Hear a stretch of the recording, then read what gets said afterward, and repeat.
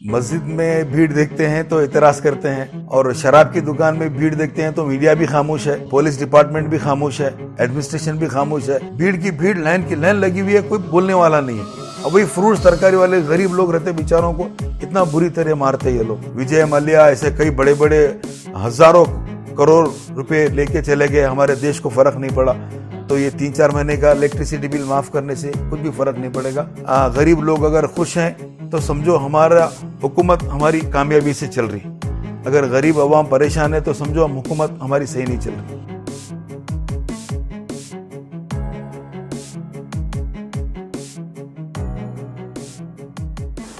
तो जैसे कि आप सब जानते हैं हमारे साथ इलियास सेठ हैं जो कि एन के चेयरमैन हैं और काफ़ी सोशल वर्क करते आए हैं। इलियास सेठ ये जो नया सर्कुलर जो आ चुका है रिलैक्सेशन को लेकर, तीसरा लॉकडाउन शुरू हो चुका है और चौदह दिन के लिए, इस पर deputy commissioner Sharad B ji ने कुछ रिलैक्सेशन रिलीज़ किए हैं।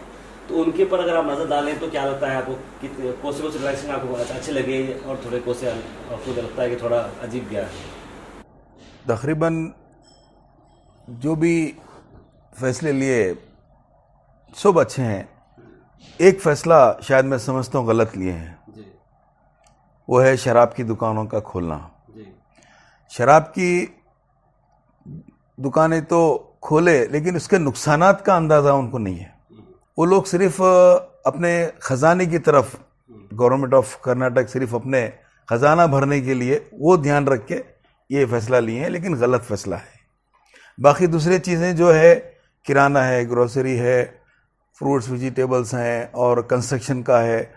कंस्ट्रक्शन मटेरियल है वो सब एक और चीज़ लोग बहुत सारे एक्सपेक्ट कर रहे थे और मीटिंग में थे कपड़ों के लिए ईद का मामला आ रहा था कपड़ों की दुकानें खुलने की बहुत सारे लोगों की अपील थी उस पर पाबंदी की गई है तो उसके बारे में क्या है कपड़ों के बारे में? अब कैसा है अब कपड़े की दुकानें खोल सकते थे लेकिन एक डर है क्राउड हो जाएगा लोग घरों से निकलेंगे कपड़े की दुकान में जैसा अब देखिए शराब की दुकान खुलती कैसा भीड़ हो गई। अच्छा कपड़े की दुकान भी खुल जाएँगे तो पूरी भीड़ हो जाएँगी। हम्म। फिर बाद में कपड़े वालों के ऊपर इल्ज़ाम हो जाएगा कि भाई ये कपड़े की दुकान है रमज़ान के वो इसी खोले थे। हम्म। फिर देखो इतने पॉजिटिव केस आ गए। फिर रमज़ान को टारगेट बना के हम्म। फिर ऐसे करने के भी बहुत कभी चांसेस हैं। तो लिहाजा मैं समझता हूँ अब सब्र करना चाहिए। और जो है अब ये पैसा जो हमारे पास बच रहा है कपड़े खरीदने का वो पैसे उसमें हम लोगों की मदद करें। और खाने पीने का लोगों के लिए इंतज़ाम करें जो अपने मोहल्लों में जो गरीब लोग हैं।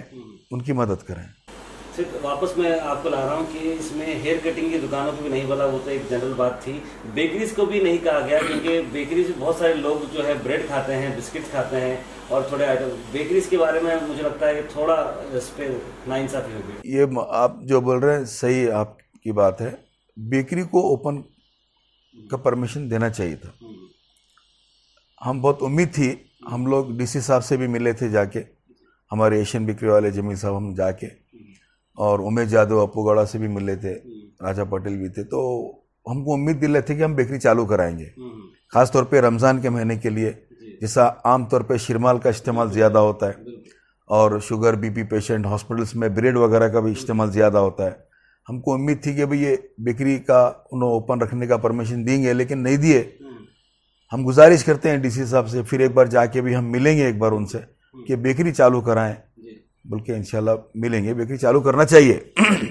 जैसे कि सेठ आप देख रहे हैं कि फ्रूट्स वालों पर पाबंदी हो रही थी सोशल डिस्टेंसिंग के लिए। आपने काफ़ी कोशिश की यहाँ के और सीनियर लीडर्स ने मार्किंग डाल रहे थे।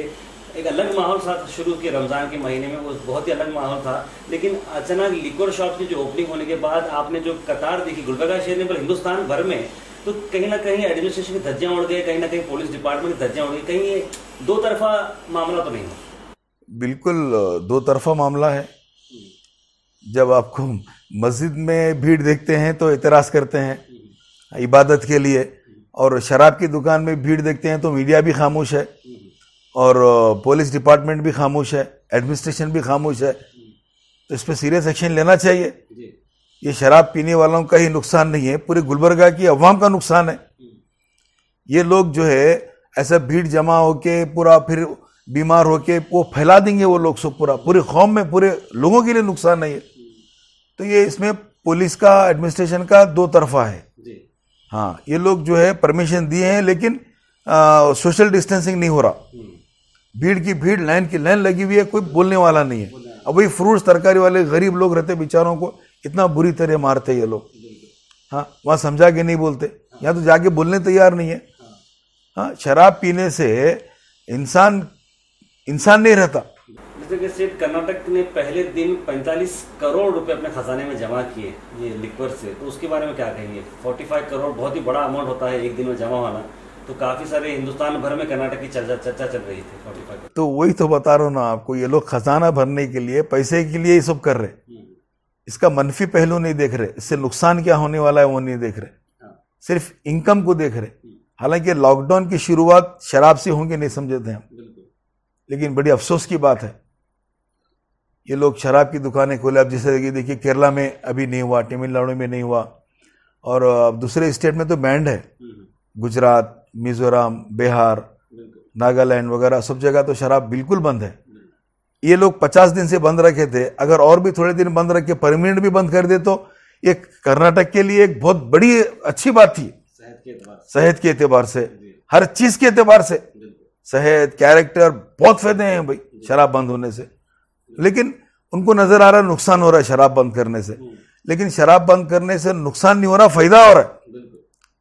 एक और चीज़ मैं तो थोड़ा टॉपिक को बाहर ले जाना चाह रहा हूँ कि अब बहुत सारे लोग घर पर बैठे हैं काम कारोबार नहीं है लोगों को राशन वगैरह नहीं मिल रहा कई सारे हमारे लीडर्स भी पहुँचा रहे हैं तो आपकी भी हम एक पर्सनल मुहिम देख रहे हैं कि आप भी काफ़ी चालीस पचास दिन से वैसे तो पहले से करते ही आ रहे हैं लेकिन काफ़ी दिन से आप या तो खाना भी दे रहे हैं वेजिटेबल्स भी प्रोवाइड कर रहे हैं ये क्या मामला है क्या आप ऐसा अपनी तरफ़ से करते हैं या आपका एक ऑर्गेनाइजेशन है?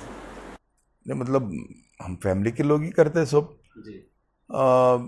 रमज़ान में तो पैकेजेस का तो हर साल करते हैं। लेकिन इस बार रमज़ान से पहले से भी हमको करना पड़ा ये लॉकडाउन की वजह से। क्योंकि जो डेली वेजेस वाले हैं, जो रोज़ करके खाने वाले हैं, वो बेचारों को काम वाम बंद हो गया तो फिर वो लोग क्या कर सकते रोज़ कमा के ला के वही पैसों से राशन ला के रोज़ रात में पका के खाते थे। जब काम बंद हो गया तो फिर बेचारे परेशान हो गए तो फिर हम लोग जो है शुरू शुरू में पैकेजेस भी बना के दिए। उसके बाद में फिर हम लोग हर मोहल्ले में हर वार्ड में मटेरियल भिजाते थे पूरा। सामान के साथ पूरा चावल तेल वगैरह हर चीज़ पूरा वेजिटेबल पूरा। तो फिर वो मटेरियल भिजाने के बाद वो मोहल्ले की जो टीम होती थी ना वो टीम जो है पूरा पकवान करके पूरा पैकिंग करके फिर डोर टू डोर जो डेली वेजेस वाले हैं जो गरीब हैं वैसे जगह वो लोग पहुँचे। तकरीबन एक डेढ़ महीने से हमारा ये काम चल रहा है। अच्छा। तकरीबन वार्डों में तकरीबन मोहल्लों में जो है हम एक टीम को सेलेक्ट करते वो टीम जो है वो मटेरियल आके लेके जाती है हमारे पास से फिर वो लोग पका के पैकिंग करके डोर टू डोर तकसीम करते हैं। अच्छा यानी कि खाना पकवा खाना अलग दे रहे हैं आप और रॉ मटेरियल रॉ मटेरियल अलग दे चीज़ है। जी जी जी। तो काफ़ी अच्छी चीज़ ये चलती आई है। सेठ एक और इम्पोर्टेंट बात जो आपने पिछले वीडियो में छेड़ी थी कि लोगों के लाइट के बिल के मामले में उसमें भी एक हाँ। आपसे पूछना आपने सीएम को भी लेटर लिखा है यहाँ के एमपी को भी आपने वो डायरेक्शन दिए हैं कि लोगों की जो लाइट का बिल है आप आगे बढ़ाने की बात की तो उस पर थोड़ी रोशनी डालिए अब देखिए लॉकडाउन की वजह से डेली वेजेस वाले तो परेशान है ही हैं और दूसरे मीडियम तबके के लोग भी बहुत परेशान हैं। अच्छे अच्छे लोग परेशान हैं जो आपको नज़र नहीं आते। तो इनके पास जब खाने के लिए पैसे नहीं है भूख से मर रहे तो ऐसे टाइम लाइट का बिल कहाँ से ला के भर सकते? तो चाहे तो गवर्नमेंट लाइट का बिल इलेक्ट्रिसिटी बिल माफ़ कर सकती और माफ़ करना भी चाहिए। जब से लॉकडाउन शुरू हुआ और जब तक रहेगा दो तीन महीने की बात है या चार महीने की बात है, उनके लिए कोई बड़ी बात नहीं है। हाँ वैसे तो जो है, विजय मल्ल्या ऐसे कई बड़े बड़े हज़ारों करोड़ रुपए लेके चले गए, हमारे देश को फ़र्क नहीं पड़ा। तो ये तीन चार महीने का इलेक्ट्रिसिटी बिल माफ़ करने से कुछ भी फ़र्क नहीं पड़ेगा। लेकिन ये गवर्नमेंट सोचना चाहिए इसके बारे में। क्योंकि हमारे स्टेट में, हमारे देश में गरीब लोग अगर खुश हैं तो समझो हमारा हुकूमत हमारी कामयाबी से चल रही। अगर गरीब अवाम परेशान है तो समझो हम हुकूमत हमारी सही नहीं चल रही। और हम कुछ प्लानिंग भी किए हैं, सीएम के पास भी, बेंगलुरु तक जाके, वहाँ पे भी एक वफद की शक्ल में जाके सीएम से भी मिले। इसको सीरियस लेना है। और ये तीन चार महीने का लाइट का बिल तो इलेक्ट्रिसिटी बिल माफ़ करना चाहिए। अभी देखिए सर इलेक्ट्रिसिटी बिल मामले में बड़े बड़े मॉल्स वालों को एफसी जो आते हैं फिक्स्ड कॉस्ट जो है एक एक लाख डेढ़ डेढ़ लाख के करीब आ रहा है। तो वो भी बहुत सारे लोग परेशान कि भाई कैसे हम पैसे दें इन लोगों को? अब देखिए मैं ये कमर्शियल मॉल को हमारे कोल्ड स्टोरेज इससे बड़े बड़े लोगों के बारे में नहीं बोल रहा मैं। जो मीडियम और गरीब लोगों के बारे में बोल रहा हूँ। कमर्शियल लोग भरना हाँ। भरना क्योंकि वो लोग कमाते भी अब तीन चार महीने नहीं कमा रहे लेकिन साल भर तो कमाते ना भाई। तो लोग भर सकते। हम्म, जो गरीब लोग हैं जो मीडियम तबके के लोग हैं जो बिलो एवरेज फैमिली हैं हाँ ऐसे एवरेज फैमिली के लोगों के लिए हम खास तौर पे क्योंकि गवर्नमेंट को भी पूरा बर्डन नहीं डालना है सबका भी माफ़ करने के लिए। कमर्शियल लोगों का लें आप लेकिन जो रेसिडेंशियल एरिया में है उनके लिए इलेक्ट्रिसिटी बिल माफ़ करना चाहिए। मेरी अवामुन्नास से गुजारिश है कि आप लोग घर पे रहे घर के बाहर ना निकलें। बहुत ज़रूरी है तो घर के बाहर निकलें। घर में ही रहें। और जो है, अभी ये बीमारी ख़त्म नहीं हुई। अभी इसका इलाज भी नहीं निकला है। अभी इसका कोई वैक्सीन भी नहीं तैयार हुआ है। तो लिहाजा अभी ख़तरे में हैं हम। लेकिन बहुत परेशानी की वजह से जो लोग भूख से मर रहे तो इसके लिए थोड़ा बहुत रियलाइजेशन दिया गया है। तो इसका मतलब ये नहीं कि आप बाहर निकलें और अपने घर में ही रहें और घर में रह के एक तरतीब बनाएँ कि भाई सुबह से शाम तक का एक टाइम टेबल बनाओ। आप बोर नहीं होंगे। सुबह में क्या करना है दोपहर में क्या करना है फैमिली के साथ वक्त गुजारिए आप टाइम टेबल बनाइए सुबह से शाम तक का।